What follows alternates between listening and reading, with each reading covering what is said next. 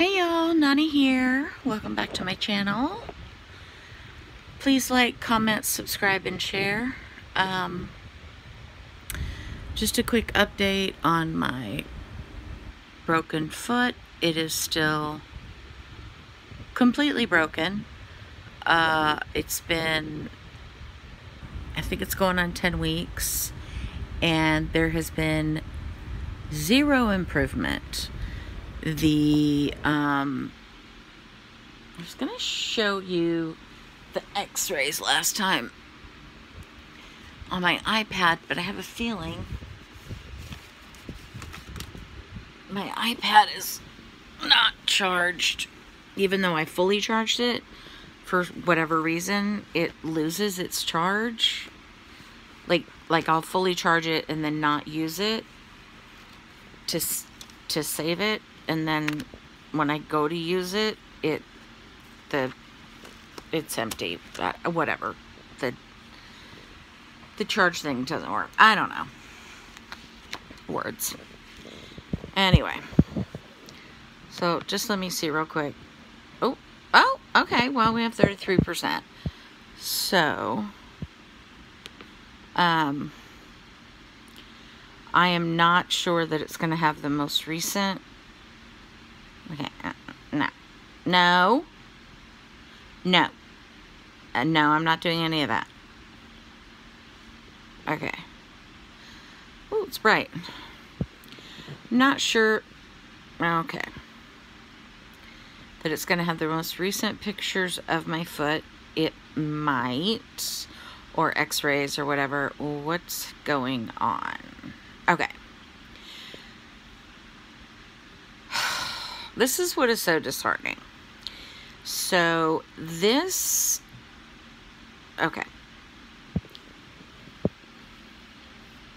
So this photo, I don't know if you can hear me, but this x-ray, see how broken it is? Okay, that's my fourth and fifth metatarsal and you can actually see the swelling in my feet as well. That's the day of, okay? Looks pretty fucked up. And this is um I don't know if that's a good picture. Hold on just a minute.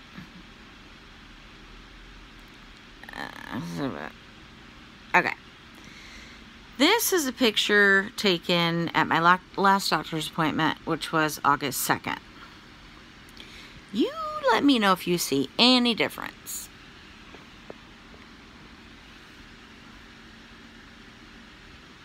See any difference there? Because I sure don't.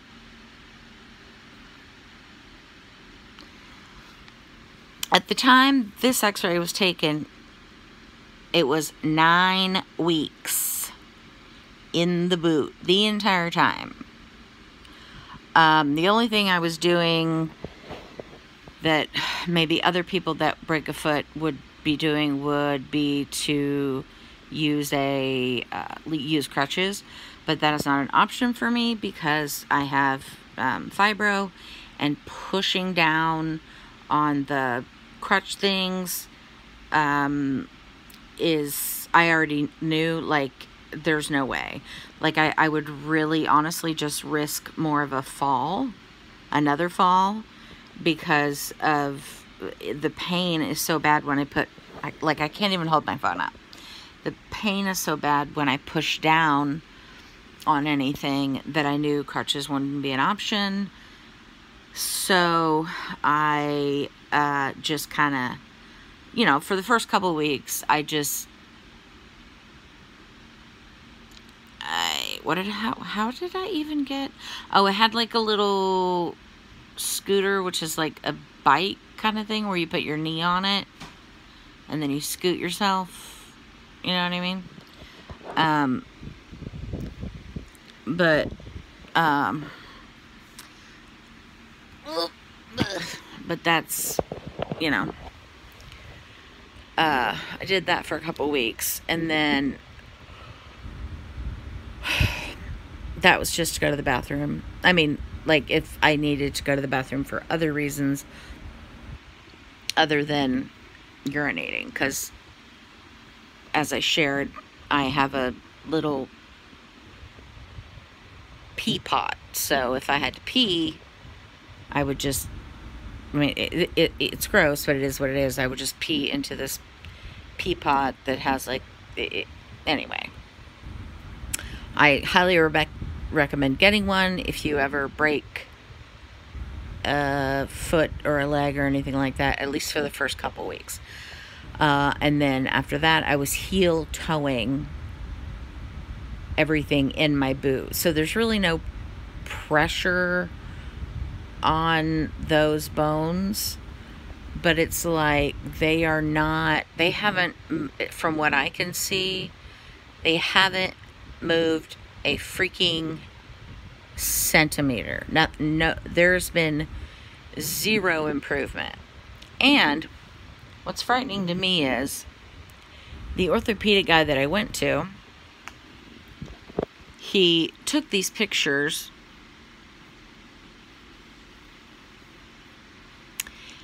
Now, this one picture I'm about to show you is the first time anyone has taken, like, I guess what I would call an aerial photo of my boot. My foot, my boot, my foot. So, like, where you can see the top of it. Or it's, it's like, it's like if you're looking down at the top of your foot. Well, when you look at it that way, sure, it looks like the bones are healing up real good. But when you look at them from underneath my foot, which is kind of how they broke, I guess, instead of breaking forward, they broke that way towards the back of my foot. So when you look at them from beneath my foot, there's zero change. So I'm super frustrated with that because we're supposed to go uh, on a family vacation to a water park. um, yeah, I'm not sure how that's going to go. I've been going through tons and tons of different Amazon products that will, because like once you're in the, like obviously I wouldn't be going down any slides. I would just be doing like the lazy river. Once you're in there, it's all good. Um, so I'm hoping that I can do that. But I don't know if they're going to let me in the park with the wheelchair. I don't know. I, I don't know the situation. Um, I'm also, I finally have decided I am going to get the vaccine. I think I mentioned that the only reason I hadn't gotten it is because um, there are certain medications, uh, fluoroquinolones, for instance, which are uh, really strong antibiotics, uh, like Cipro, for instance. Cipro is used for anthrax. So, uh, doctors often prescribe this drug, though, for a standard bladder infection, which is completely unnecessary. And drugs like Cipro can cause small fiber neuropathy.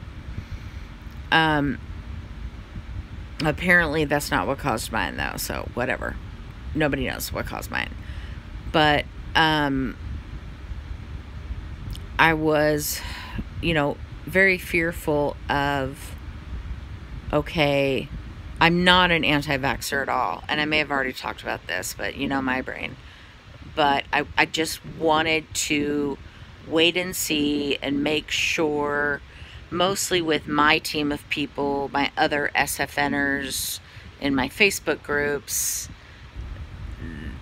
because there's some people that are super cautious about that kind of stuff, and some people that know the cause of their SFN, and so they're not as worried about whatever. Um, or they're much older and they know like regardless, uh, I have to get this. So I wanted to wait a little bit and see, like, is it affecting people with SFN in a bad way? Like, if I get a couple weeks of side effects from it, whatever, big deal. I'm constantly dealing with something medical anyway. Um, so I'm the only thing I'm doing is I'm putting it off until after the water park. Um, I don't go anywhere, literally ever, except for to a doctor's office. And when I go, I wear my mask. Uh, I wear gloves. I am extremely careful. Um, at the water park, there would just be. Um, I'm doing a video. Uh, I mean, I don't care if you talk, but I'm just letting you know. At the water park, there would be um, lots of chlorinated water. We'd be out in the sun all day.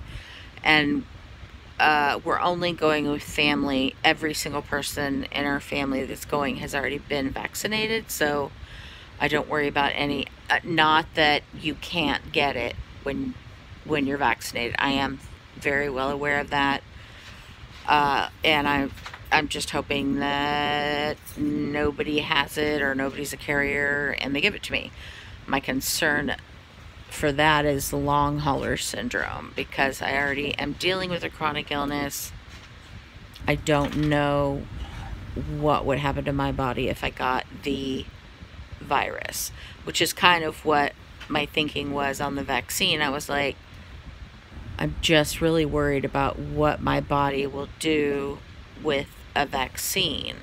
I've never gotten a vaccine post small fiber neuropathy, so um, I do worry about those kinds of things. But the at the end of the day, the risk of not getting the vaccine outweighs. Wait, what? I don't know if that sounds right. But the risk, okay, the risk of getting COVID outweighs the risks that I might get from a vaccine. Um, because I, I, I just tr- truly believe my health is such that if I were to get COVID, I would be in the hospital.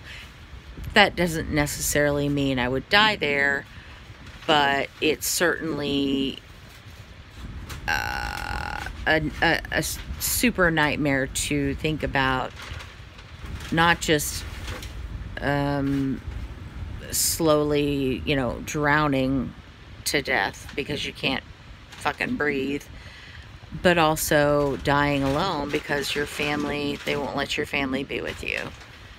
Um, so that's not how I've ever pictured going out. Like, I don't want to be alone. Um, so, and I mean, just keep it re real with you guys. I also have been having uh, major, major um, depression, like deep, um, deep, deep bad thoughts, that kind of thing. So, uh, you know, it it's not it's not good. So I'm working on trying to find a solution for that. I don't know what that is yet. but uh, the Hubby Webs just came home with some food. So I'm going to enjoy that. But I just want to give you an update on my foot, which is there is no update because she's a lazy hoe that doesn't want to work. Oh, I did um, finally got to take an actual shower instead of like a I don't know what you call those. It's not, it's it's like a bed bath. It's not a bed bath. It's a honey, what's that called when it's like when you're in a hospital or whatever and they give you a they clean you up, but it they call it a something bath. bath. I guess a sponge bath, but there were there were no sponges involved. Uh, it was more like a um, you know, washcloth type of situation.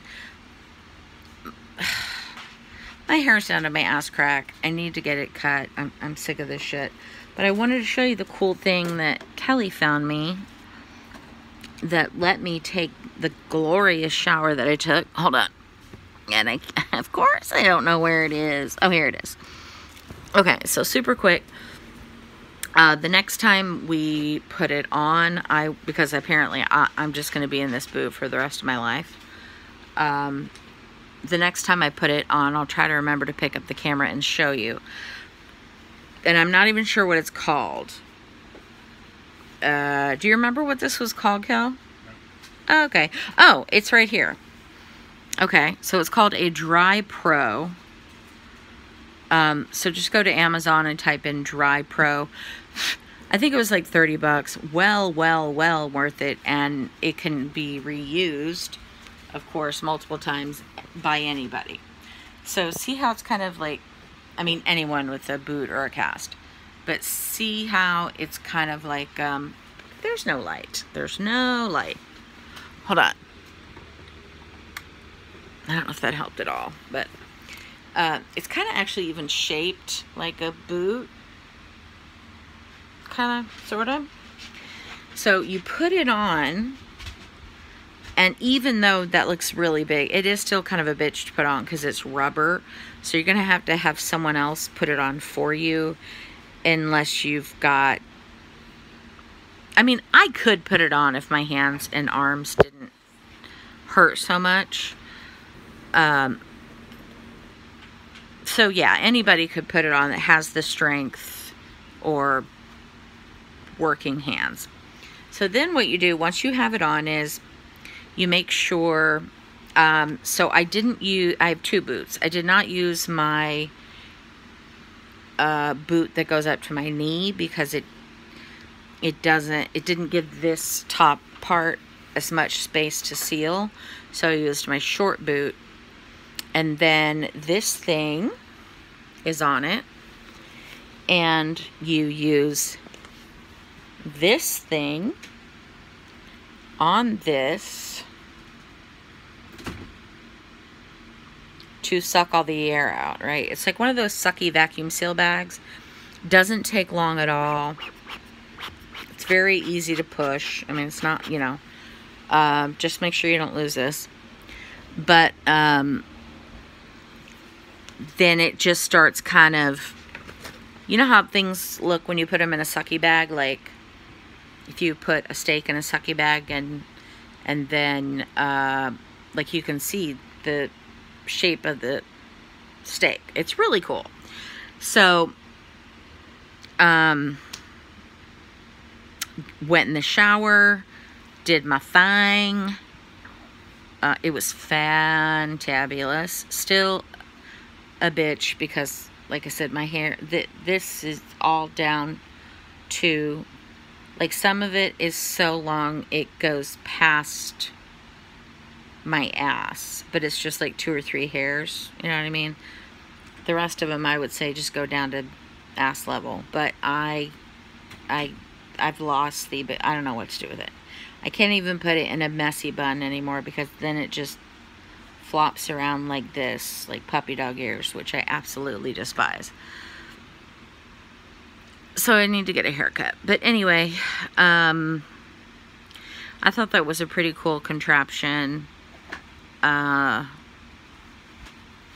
to let you shower. But it, it took me... Um, I wanted to feel very, very comfortable in standing in my boot um, in the shower because I just didn't want to have another fall. And Kelly was in there for supervision, but still, like, I'm so paranoid about falling again. I, I just, I can't. I cannot. I can't do that again. Ooh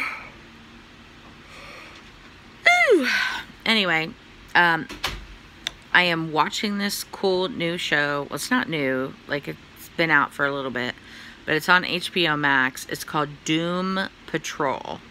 And it's about... It's kind of like a misfit group of anti-heroes, right? But they're not villains. They're just really like like I'll just give you one example. One guy is like a guy that got in this horrible wreck where basically he his body was torn apart and somehow this doctor that makes these misfit anti-heroes was able to put him back together but he has to be in like this it's not just tin it's like steel like a steel man so he's very tall and large the character is played by Brendan Fraser who was in uh, Your Honor, which is one of my favorite Brendan Fra Fraser movies, and that was back in the 80s, 90s, eight, late 80s, early 90s. One of my favorite movies of all time. Is it, is it called? No, not Your Honor, with honors. And it's really good. It has Joe Pesci in it. Um, but anyway, so, oh, we also have a bladder infection. So that's super fun. Uh, bladder infection, check. Uh, foot still just as fucking broken as it was over two months ago, check.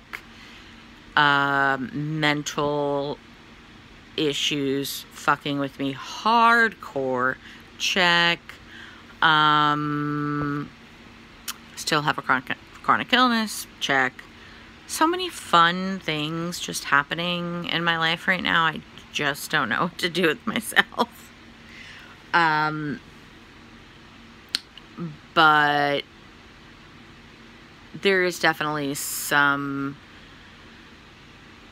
mental health stuff that I need to put at the top of my priority list and um, it's just something that I feel like I need to talk to my family about first before I share it. I'm not ashamed of sharing it. Um, I just feel like that's the respectful way they, to handle it. I just feel like my family didn't, you know, deserves to know first. Um, but I think it's a, a conversation that needs to be had and shared because I think it will help others. It's certainly something that would help me if I found that on YouTube. Um, yeah, so that's that's really my priority right now. That and getting the health that I can control in check, I guess. Like, really the only one I can control is the bladder infection. So I did have to go to a rapid med yesterday to get all the fun stuff that you get for a bladder infection. Um, if there's any young ladies watching, be sure to always ask, you know, if they're going to give you some antibiotic, tell them no fluoroquinolones. Just say it, and then they'll be like, what? And you can say, like, nothing like Avelox or Cipro. Those are just a couple of them. Uh, just something, just don't get those. Um, uh, make sure you get fluconazole, which is a pill you can take to prevent a yeast infection rather than having to use that messy ass cream that you have to put up your hoo-ha and then it's all just yucky and gooey. Sorry guys. Uh, for a week. Um, but use it anecdotally, like if you have itching and burning, it does work for that. Um, but I always just preemptively, whenever I ask for antibiotics, I tell them I need diflucan, uh, or it's called diflucan, or you can get fluconazole, which um, it is this. Just a little tablet. Now, some only prescribe one, but my uh, hoo-ha uh, is kind of a bitch and she needs more than one. So, um, if you can, ask for three. So, and then last but not least, uh, it, I don't know how to say the word. um, it's called fenzo, fen, fenzozipridine or something, uh, which is, that's a, you know, I got the prescription kind, but you can also buy an over-the-counter version, which is just as good. I mean, it's literally just as good because it's the exact same drug, uh, just over the counter. But I asked her to please give me a script because the script is usually cheaper than the stuff you get at the store. The stuff you get at the store is called Azo Standard. I always get maximum strength. Um, it will turn your pee bright red or bright orange, so do not be alarmed. And also, if you know about Azo and you suspect you have a bladder infection, uh, stop taking the Azo 24 hours before your visit because it can affect the outcome of the test. Um, unfortunately, she did the, the doctor I saw when she checked my urine. She said it doesn't appear that you have one, but she's going to culture it and see if bacteria grows. I kind of had a feeling I didn't have one. Um, it just didn't have, like, it had all the feeling of a bladder infection, but, okay, and I'm, I'm just going to be gross here for a minute. The urine didn't look like it had, like it was infected. Like, usually it's going to be super cloudy and have a super strong odor, like super strong. Um, so I believe what I'm dealing with, which does happen on occasion with people that have this, but also people with small fiber neuropathy, and it's called interstitial cystitis. Now,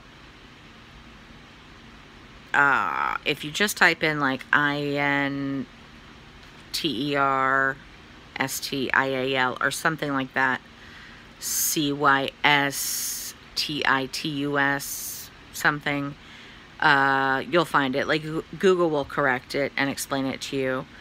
Uh, but it's extremely um, annoying and painful unless you have the Azo. Um, once you take the Azo, you're not going to be able to tell that you have a bladder infection. If you do indeed have a bladder infection, or you're not going to be able to tell that you're like, it, it just makes the um, interstitial cystitis symptoms go away as well, which is oh, amazing. So um, that would be the the first go-to would be the Azo standard. It's not going to get rid of the bladder infection though. So if you suspect you have one, you absolutely have to go get antibiotics. Just absolutely have to. It it won't get rid of it otherwise, which could uh, move into your kidneys. You definitely don't want a kidney infection. I've had many, and you end up with scars on your kidneys, which could affect your health later on in life. So, um, but again, I'm not a doctor. I'm just sharing my experience. This is something you should absolutely talk to your doctors about. Um, but anyway, I just wanted to give a quick update on my non-healing foot and uh, let you know about my bladder infection because that's super important that you know. Um, and I think that's it for now. I'm going to go back to watching Doom Patrol and eating the yummy sandwich that my husband got for me and spending some time with him. Um, and I will talk to you guys later. I hope you have a beautiful day. Mm.